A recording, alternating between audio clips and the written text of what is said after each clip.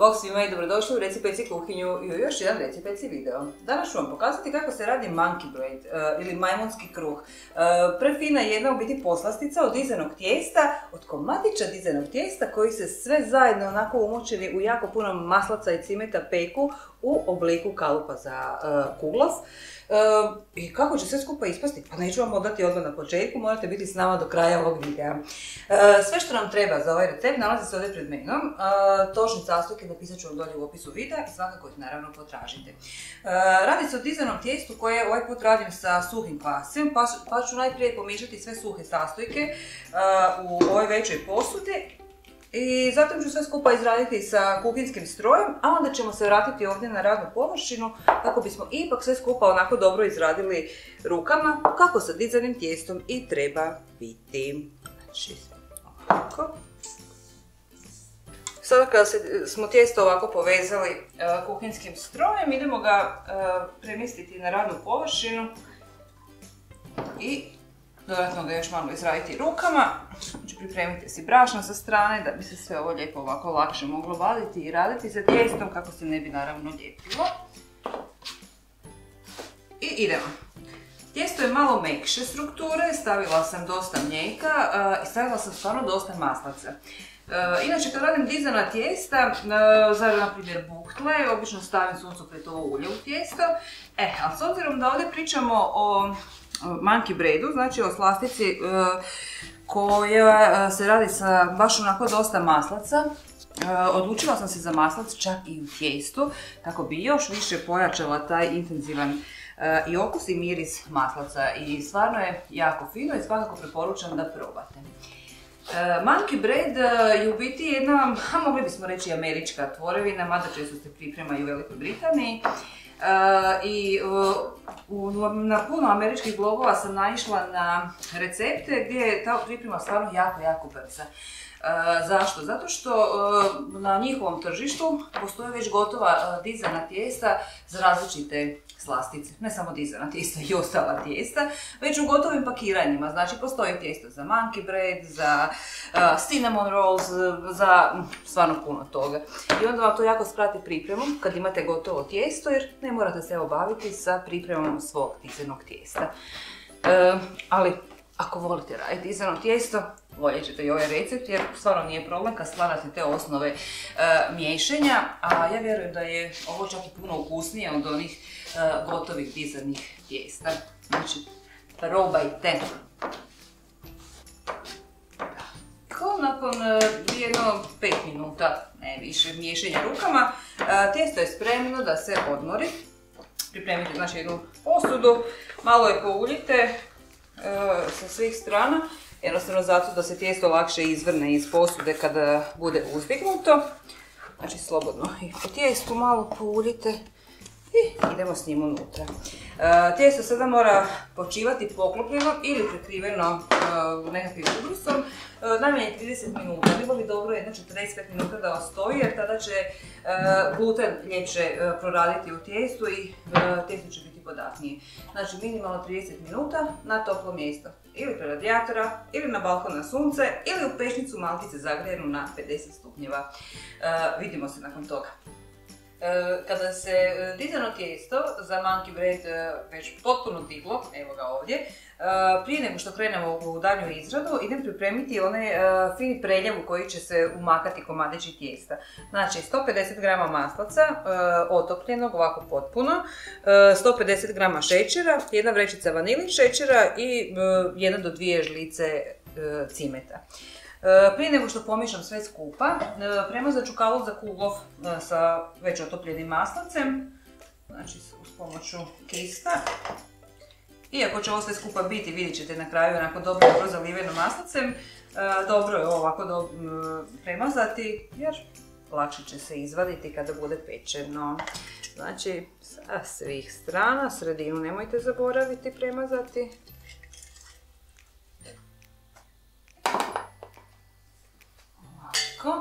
Šećer, jednostavno dodati u ovu posudicu. E, miješati pjenjačom da se šećer potpuno otopi. Znači neće se on otopiti baš ono skroz do kraja, ali barem polovica šećera da se uspije rastopiti. razmučeni šećer, e, mlijeko, znači četiri žlice mlijeka.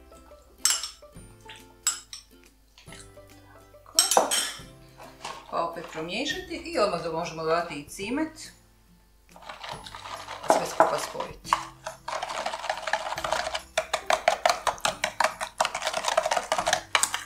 Znači, ako želite možete ovu smjesu onako malo prokuhati, ali radila sam već nekoliko puta i stvarno nema potrebe super ispravni i ovako, bez zagrijavanja i bez zakuhavanja.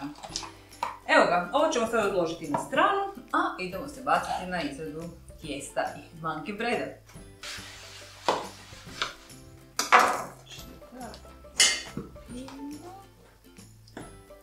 Evo, kad dobro umjesite dizajno tijesto, onda to izgleda ovako, puna, ali puna zdjela dizajnog tijesta.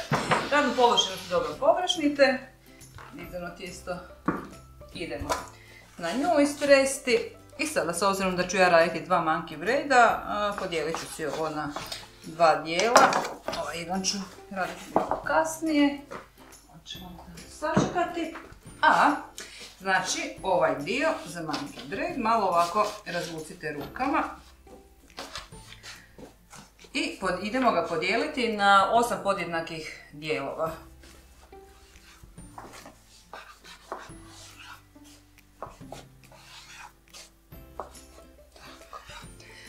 Uopće nije bitno da vam ovi dijelovi budu jednaki, vidjet ćete sada zašto. Znači malo ih razdvojite rukama. Od svakog ovog dijela idemo napraviti duguljasti valjač. Znači, na ovoj radnoj površini.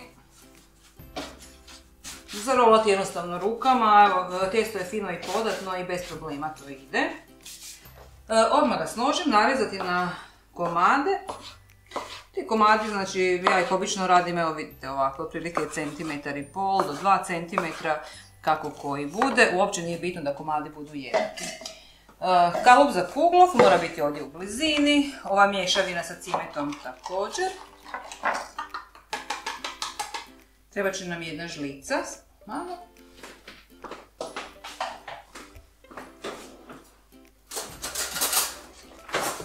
Sada ove komadiće, znači otprilike jedno 4-5 komadića tijesta, ubacimo u ovu mješavinu od e, cimeta, šećera, maslaca i mlijeka.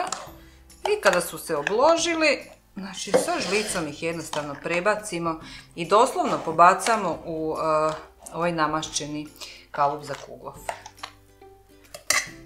E, moći ćete recimo ako ste već nekad istraživali za monkey bread, e, postoje recepti u kojima se od tijesta rade baš onako e, kuglice jednake, ali vjerujte, stvarno nema potrebe, vidjet ćete kada se ispeče zašto, kako će to sve skupa izgledati. Evo ga.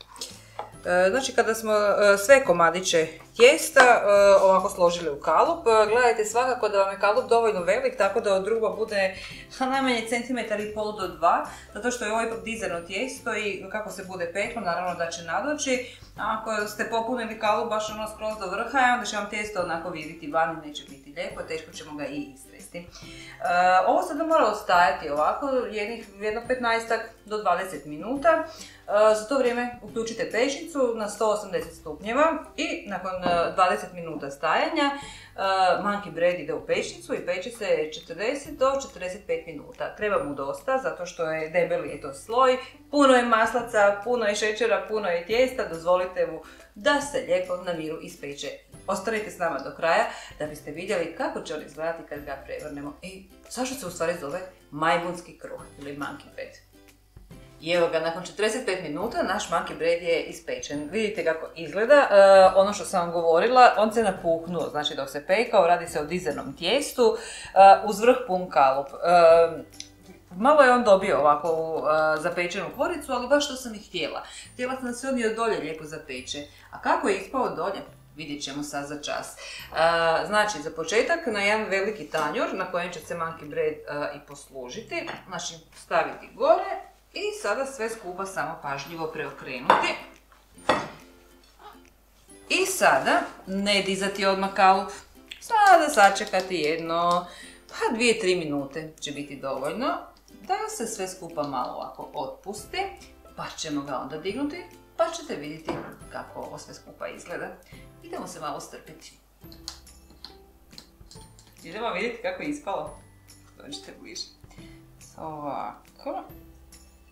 Evo upravo zbog ovoga morali smo ostaviti da miruje.